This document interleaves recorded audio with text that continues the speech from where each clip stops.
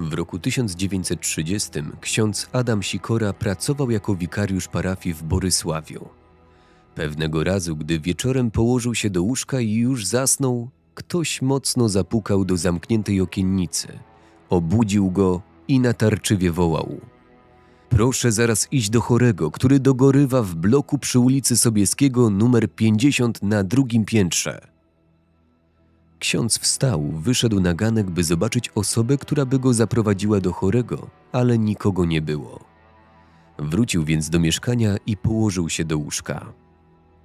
Po krótkim czasie usłyszał ponowne pukanie i natarczywe wołanie, by szedł do chorego. Wyszedł na ganek, ale nie było człowieka, który go wzywał. Pomyślał więc, że jest to jakaś prowokacja. Położył się do łóżka, ale tym razem już w ubraniu. Za chwilę, mimo zamkniętych drzwi, wchodzi bez pukania do mieszkania starszy wiekiem mężczyzna, zbliża się do łóżka, chwyta leżącego księdza, wyrzuca z łóżka i mówi surowym, rozkazującym głosem: Natychmiast idź pod wskazany adres, bo ten człowiek umiera. Po tych słowach tajemnicza postać znikła. Ksiądz zrozumiał, że ma do czynienia z jakimś nadprzyrodzonym zjawiskiem, któremu oprzeć się nie wolno. Śpieszy do kościoła, bierze z tabernakulum Najświętszy Sakrament, zabiera święte oleje i idzie na ulicę Sobieskiego pod numer 50. Dzwoni do bramy i oznajmia stróżowi, że jest wezwany do chorego. Stróż zdziwiony odpowiada, że nic mu nie wiadomo, aby tu ktoś chorował i wzywał w nocy księdza. Gdy ksiądz informuje go, że potrójnym pukaniem do mieszkania ktoś go wzywał pod ten adres, bo na drugim piętrze umiera człowiek, stróż przypomniał sobie, że faktycznie jest tam chory lekarz, ale jest to człowiek niewierzący, który może księdza nie przyjąć. Na prośbę księdza prowadzi go na drugie piętro i wskazuje mieszkanie chorego.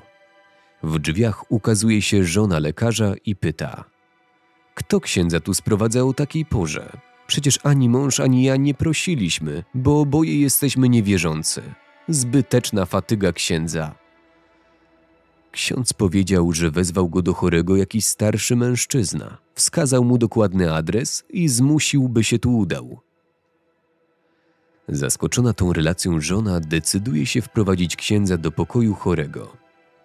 Na widok księdza chory zaintrygowany pyta: Kto księdza tu sprowadza do mnie?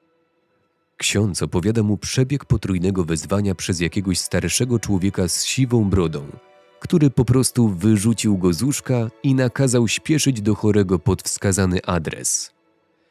Lekarz zamyślił się i polecił żonie, by przyniosła z sąsiedniego pokoju wiszący na ścianie obraz. Ksiądz poznaje, że to właśnie ten człowiek z obrazu wezwał go do chorego. Wtedy lekarz, rozrzewionym, drżącym głosem, opowiedział, jak to jego umierająca matka ten obraz świętego Józefa przekazała mu wraz z przepisaną na kartce modlitwą do świętego Józefa o szczęśliwą śmierć i nakazała mu, aby tę modlitwę odmawiał przez całe życie. I mówił dalej: Chociaż straciłem wiarę i nie wierzyłem w Boga wraz z żoną, to jednak, by dotrzymać słowa danego matce, tę modlitwę machinalnie odmawiałem. Teraz widzę, że święty Józef nie pozwolił mi zginąć marnie. Proszę mnie wyspowiadać i pojednać z Bogiem. Po spowiedzi przyjął pobożnie komunię świętą jako boski pokarm na drogę wieczności oraz sakrament namaszczenia świętym olejem, gorąco dziękując młodemu kapłanowi, który o tej porze przybył do niego.